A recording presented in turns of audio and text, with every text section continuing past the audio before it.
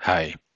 In part two, we will make sure that the images related to our work order are shown correctly. So you can see here that we have one, two, three, four images, and I want to see all of them uh, displayed correctly. Uh, this one I do not want to show, so I'm just gonna remove it, delete, okay. Four images remain, and these are the ones we want to show. Okay, how to do that? We're gonna add an actionable, and the actionable is actually to get the images, the thumbnail of the images, yeah, because these images can be taken by your iPads or uh, or Android uh, tablets or phones, so uh, they can be very big, and we don't want to push 10, 20, 30 images of, uh, of 5 giga, uh, megabytes onto your uh, document, of course. So we're gonna get the thumbnails of these pictures. And to do that, we of course have an out-of-the-box actionable. And this actionable doesn't come with the standard package of uh, PDF Butler. It's actually an add-on that you can just get for free uh, by uh, mailing support at pdfbutler.com. So if you need this uh, uh, functionality, just write an email at support at pdfbutler.com. So of course I have the package installed, so I can just get uh, do the get thumbnail um, actionable for this actionable, I need a couple of things. I need to have a data source for files, means that uh, my images are stored in files uh, uh, on my work order. So I will need to get an overview of which files are there. And next, I need to get a data source that will actually contain the images. So not the uh, link to the image, but actually the image itself. So, and then of course we can set what thumbnail that we want because uh, they can come in different sizes uh, and different qualities. The bigger uh, the quality, uh, of course, the bigger the document will be, but that I let you decide. Uh, these are the thumbnail sizes that come out of the box. Okay, we cannot uh, create this actionable just yet. We first need the data sources. So let's take a look at the data sources. Of course, I've already prepared the data sources for you. And if I look at my data sources that I need, I will actually need a data source called work order files. So these are this is selecting all of the files on my work order. Uh, take a good look on how this is built. It's actually a child data source of my work order, so it's related to my work order. It knows uh, it knows how to link to these um, uh, work order and it will get actually from content document. So that's uh, how files is called in the backend. When querying it, all of the pictures that are related to my work order. Okay, now I have that. Now I need to get, uh, of course, yeah, the pictures from that as well. So on this data source, I'm actually going to create an extra child data source that will hold a picture for every file. And this child data source is a data source of type picture list. It will select image, uh, uh, uh, it has an image source files because it will select images from files. The image name is actually uh, put something in there that you will never use. Why? Because we will not select the images that are directly linked to our files here. Why not? Because these images can be huge. Like this one, it's 1.7 megabytes. So I don't want to push 1.7 megabytes into my document. I want to get a thumbnail of this. So we let the actionable actually fill in uh, our uh, of, uh, this data source. And yeah, you just have to copy everything that you see on the screen. Uh, make sure that everything is in the right case. So if you want to put content documents here, make sure the C and the D is in uppercase and the .id also is there. Um, for the ones that are interested in it, this content document .id is actually a field from my parent data source. So if I jump back to my parent data source, you will see here that uh, content document.id is a field here. So this, this is how these two data sources will be related by setting the parent data source field. Okay, so we have our doc.conf, uh, sorry, our data sources. Now let's make sure they are linked to our doc.config. I have my doc.config here. I go to my data source and I click the plus here to add child data sources. So I first add my work order files. Okay, this is there. You can see that the parent uh, information is all uh, taken from the data source configuration that I have created earlier.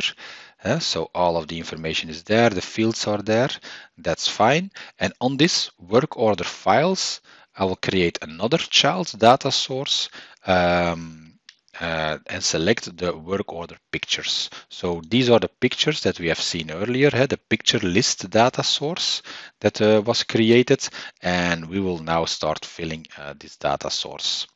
Okay, everything is there. We have our data sources. They are linked to our doc.config. I'm just going to save it first. And now let's create the actionable go back to our doc.config on the academy we just create actionable new. It's a get thumbnail actionable as i explained earlier. So um, we'll just give it a name get thumbnails work order. Okay the when is already pre-filled. The class is uh, this one, so uh, make sure I will make sure it's uh, uh added to the uh, description of our YouTube movie, so you can just copy paste it. Uh, I will also make sure that the content document link query that you saw earlier is also listed at our description of the YouTube movie. Let's make sure it's active, very important step. Um, then let's select our data sources. First, I want to get the files data sources. So that's work order files. Next up is the work order pictures. So let's see, it's work order pictures. And then I'm gonna select the size and let's start with the, middle size, and not the smallest, not the biggest, but just keep it in the middle. All of the configuration done here. This is great. So now when I run my doc.config, uh, the framework, uh, the actionable framework from uh, PDF Butler will know how to pick up this actionable. It will execute the code behind the actionable, and in this code, it will just loop through all of the uh, uh all of the files that are registered on this doc.config, and of course, show this file um, also on uh, and get the thumbnails of these files ready to be processed by PDF Butler. Okay, we are forgetting one step. We have no configuration in PDF Butler whatsoever. So let's first add that. Let's take a look at our document that I already prepared. Our document has an, uh, a table and in this table it has a list. Uh, yeah, it has, an, of course, these uh, these rows. And here I want to put my pictures. So I'm gonna I want to repeat this row for every picture. So for every file that was linked to my uh, content, uh, to my content, to, to my files, to my work order. Okay, so the configuration, everybody already knows how to do that, of course. Uh, it's just uh, creating a config type of type uh, table row. The data source is, of course, work order files that we are running through at this moment. The merge field is work order files. Uh, this merge field, I do not want to replace with any data, so I'm just going to put the remove merge field action to uh, uh, merge field only. Don't set it to uh, uh, containing paragraph because as you can see, it has some text behind it. So uh, this text I do want to show. So it's only the, the merge field that I want to remove uh, from my resulting documents. Okay, that is done. Cool.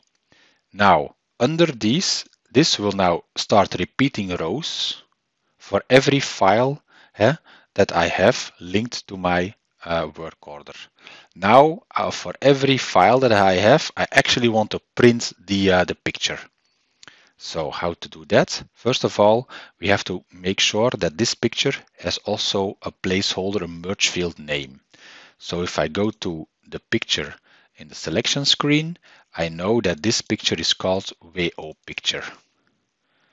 So you can see here in the picture. Uh, if you want to have more information on this, make sure to check out our Academy on picture lists and pictures. Everything is explained perfectly over there. So uh, here I take some shortcuts, of course, because I just want to create my work order, uh, my service report. I'm going to create a child on this work order file.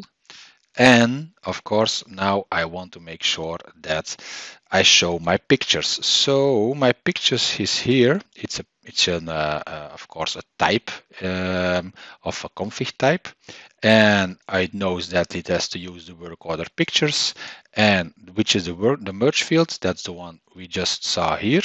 So uh, uh on this one. And now if I go back and I have to format my uh, my pictures.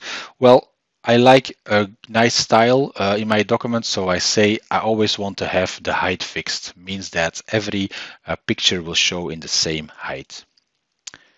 And it will automatically, of course, calculate the width of the, uh, the picture to match correctly.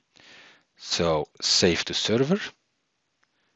Hopefully everything goes okay. Yeah, no errors, no remarks. So if I now create my service report, I would expect to see four pictures, my work order data, of course, and yeah, that will make sure I get the full overview.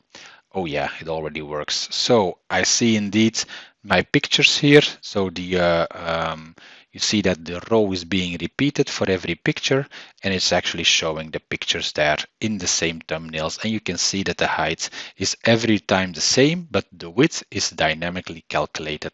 So we are now getting our work order pictures dynamically from our work order, getting the thumbnails, showing them on the uh, uh, on, on, on the documents, uh, on the service report.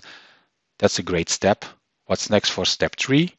For step three, I would like to show my work order line items and all of the pictures related to these work order line items.